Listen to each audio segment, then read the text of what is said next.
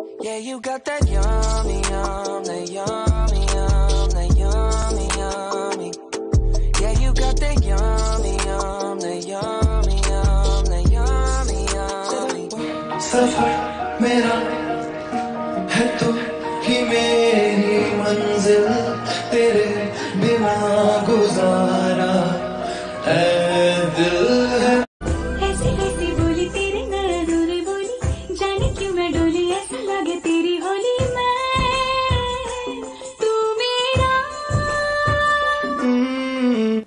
Hello everyone आज मैं आपके सामने एक पीची सा लुक क्रिएट करूँगी। सिंपल सा पीच कलर की कुर्ती और पीच कलर का ही मेरा लुक है। तो आई होप आपको पसंद आएगा। सबसे पहले मैंने अपना टोनर लगा लिया है गुड वाइब्स का हनी ग्लो टोनर इसके बाद मैं लूँगी यहाँ पे गुड वाइब्स का रोज सिप सीरम ये सीरम लगाने से एकदम चेहरे पर ग्लो आ जाता है। ये सीरम बेस्ट सीरम है। तो मैं पूरी तरह, अच्छी तरह से लगा लूँगी अपने फेस पे सीरम को। अगर कोई आप अच्छा सीरम लेना, लेने का सोच रहे हो तो ये सीरम अच्छा है सबसे। एक नेचुरल ग्लो आ जाता है। इसके बाद मैं लगाऊँगी यहाँ पे आर्गन जेल ये है गुड वाइब्स का आर्गन जेल जेल लगाने के बाद आप अगर आपके पास प्राइमर नहीं हो तो कोई बात नहीं, आप जेल लगा जेल लगाने के बाद फाउंडेशन लगा सकते हैं। आज मैं प्राइमर नहीं लगाऊँगी, मैं इस जेल को ही लगा के उसके बाद फाउंडेशन लगाऊँगी। अच्छा हो जाएगा, इसके, इससे पोर आपके पोर्स ब्लर आउट हो जाएँगे। फाउंडेशन अच्छा लगेगा। अच्छी तरह से लगा लूँगी मैं इसको। अब मैं लूँगी यहाँ पे फाउंडेशन ये है लॉरियल का फाउंडेशन सुपर ब्लेंडेबल फाउंडेशन है। ये लिक्विडी थोड़ा सा लिक्विडी टाइप में आप इसको हाथ से भी ब्लेंड कर सकते हैं। मैंने अपने कुछ वीडियोस में हाथ से भी इसको ब्लेंड करके दिखाया हुआ है। हाथ से भी इजीली ब्लेंड हो जाता है। डॉट डॉट करके पूरे फेस पे लगा लूँगी। ये फाउंडेशन मेरे स्किन टाइप टोन से एकदम मैच है। इसका शेड है गोल्डन बेज आइज़ पे भी लगाऊँगी और फॉरहेड पे और अंडर आइज़ पे। अगर आप कंसीलर नहीं लगा रहे तो आप फाउंडेशन को अच्छी तरह से सेट कर ले। तो आपको कंसीलर लगाने की ज़रूरत नहीं पड़ेगी। अब एक ब्यूटी ब्लेंडर से मैं इसको ब्लेंड कर लूँगी। हाथ से भी हो जाएगा, लेकिन मैं इसको ब्यूटी ब्लेंडर से ब्लेंड कर रही हूँ। अच्छी तरह से हो जाता है सेट अच्छी से मैं इसको सेट कर लूँगी।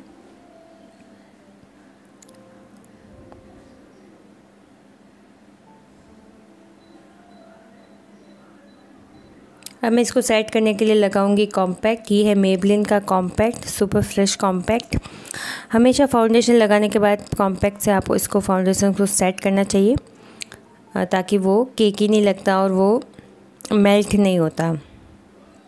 आप चाहे लूज़ पाउडर यूज़ करो या कॉम्पैक्ट तो इसको अच्छी तरह से मैं सेट कर लूँगी अपने फाउंडेशन को। आइस पे भी।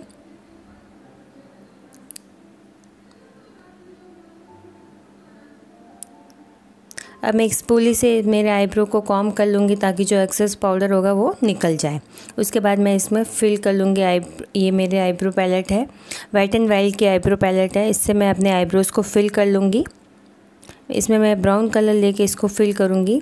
ज़्यादा मैं इसमें दो शेड है ब्राउन और ब्लैक तो मैं ब्राउन कलर ले रही हूँ। ज़्यादा ब्लैक नहीं कर रही मैं। तो मैंने अपने आईब्रोज़ को फिल कर लिए।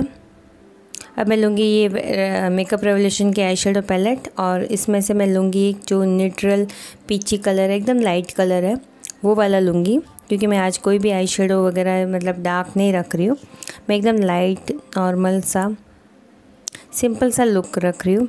इसलिए मैं खाली इसको लेड पे लगा लूँगी, इस वाले शेड को। लाइट कलर है बिल्कुल। तो इसको मैं अपने शेड पे लगा के अच्छे से ब्लेंड कर लूँगी। अब मैं लूँगी यहाँ पे ग्रीन आईलाइनर ये है स्टेक वर्के की ग्रीन आईलाइनर क्योंकि इसमें लाइनर थोड़ा सा मैं इसको ग्रीन रख रही हूँ। क्योंकि मेरा आई शेडो डार्क नहीं है तो मैं इसको लाइनर थोड़ा डार्क ले रही हूँ, यानी ग्रीन ले रही हूँ।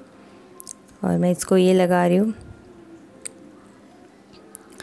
लाइनर लगाना बहुत टफ होता है। ये लग लगा लिए मैंने अपने लाइनर अब मैं लूँगी यहाँ पे मेबलिन का मस्कारा कोलोसोल वाला मस्कारा ये। वैसे लाइक मे की लाइक मे का भी मस्कारा अच्छा है, मेरे पास मेबलिन का है। ये भी अच्छी वॉल्यूम दे देता है मेबलिन का। तो इसको लगा लूँगी मैं, देख सकते हैं आप। अब मैं लूँगी यहाँ पे ब्लश, क्योंकि हमारा पीची लुक है तो हमें ब्लश करना ज़रूरी है हमारे चिक्स को। ब्लशी तो मैं यहाँ पे लगा लूँगी ये पे ब्लश। ब्लश हमेशा ऊपर की तरफ़ लेके जा जाना चाहिए। गोल गोल वहीं पे राउंड राउंड नहीं करना तो अच्छा नहीं लगेगा। इसके बाद मैं लूँगी यहाँ पे हाइलाइटर। फेस को हाईलाइट करूँगी, चिक बोन्स पे, चिन पे, नोज़ पे और फॉरहेड पे करूँगी। देख सकते हैं मैं शाइन आ गई, एकदम फेस पे लगाते ही हाईलाइट का उसको अच्छी तरह से आपको ब्लेंड करना है, ताकि वो फिर इवन लगे। अब मैं एक लाइनर लूँगी, लिप लाइनर तो मैं एक लाइनर ड्रॉ कर कर दूँगी, आउटलाइन ड्रॉ कर दूँगी। इसके बाद मैं लूँगी यहाँ पे एलेटिन की ये न्यूड शेड है। थोड़ा सा डार्क है, हल्का सा, बट अच्छा शेड है ये। तो ये मेरा फाइनल लुक।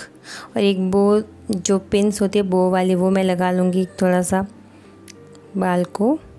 पीछे लेके जाते हुए फिर वहाँ पे बो वाली पिन लगा लूँगी। इस तरह का ब्रेसलेट एकदम सिंपल लुक है। एकदम इजी लुक है thank you so much for watching